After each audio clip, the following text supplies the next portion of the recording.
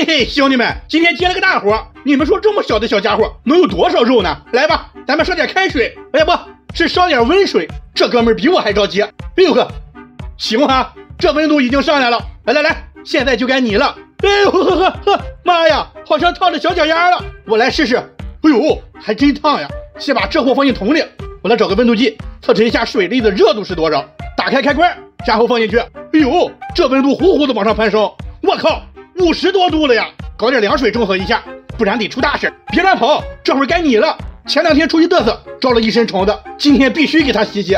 我就想问问，你们家的这些祖宗洗澡也是这么嚣张的吗？反正我家的这个是特别的不老实，就跟我打算吃了他的肉似的。但是不管这家伙怎么反抗，必须给他清洗干净了。这个小家伙其实还是蛮漂亮的，别人家的安格鲁都能帮主人抓兔子、抓鱼，而我的这只除了吃就是睡，就算洗个澡都让人不得安生。不过看这样，求生欲望还是很强烈的。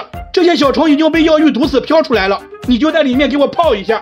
现在这货情绪已经稳定了很多。哎呀呀，你干嘛呢？我就给你去找个毛巾的空呢。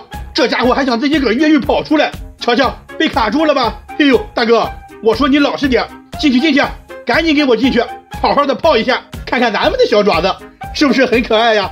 粉嘟嘟的，就是毛有点多。这洗的也差不多了，身上的虫子全部清理干净，现在。就训练一下我家的安格鲁钓潜水抓鱼的技能，安全起见，我还是先用这个庞皮缸测试一下。哎呦呦，可以啊，这家伙居然还会狗刨，不过就是这个泳姿着实有点难看。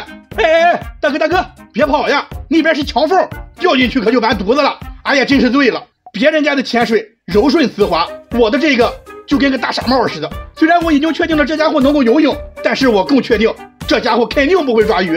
来吧，哥们儿。今天咱就不训练你了，未来的这个暑假必须给他培养成游泳健将、抓鱼第一高手。